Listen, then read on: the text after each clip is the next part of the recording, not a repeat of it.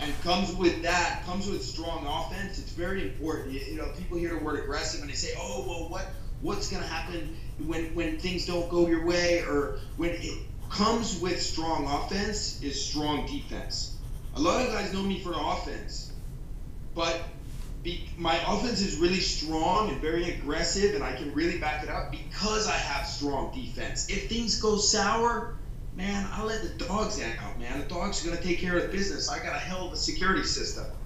So it comes with strong offense and strong defense. And I, I, I, am a firm believer in that. I learned that from wrestling. The more I attack you, the less you can attack me. The more I'm in on your legs, the less you're in on my legs.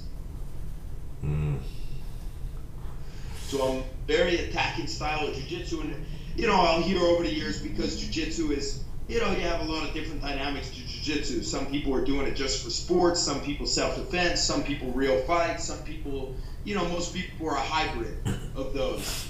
And I'll hear, oh, just just relax and wait till they give it to you. Man, this is 2015, man. Every man, people are learning jujitsu. People are cross training. You can't. If you give it to me, I'm gonna take it, man. If you don't give it to me, I'm gonna take it. I'm gonna treat it the same way, man.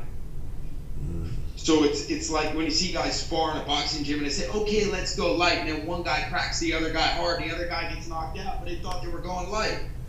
You know, that's so that's like even with my students, I operate on one speed. I set a really high standard. I operate on one speed. Whether the guys, whether the guy's a world champion black belt or world champion fighter or, or, or the guys, the guys a white, I'm going hard, man. I'm gonna set the standard. I want to crush them physically, mentally, spiritually. I, man, I want to take I want to take it away, man. I want to take their breath away. I want to take them. I want them fighting for their next breath.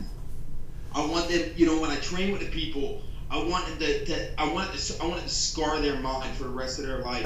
Like, wow, that was an experience, memorable, memorable. It's my style, jujitsu. The beautiful thing about jujitsu is we have so much to offer for for everybody, all shapes, sizes, different different walks of life. Jiu-jitsu has something beautiful to offer to everybody.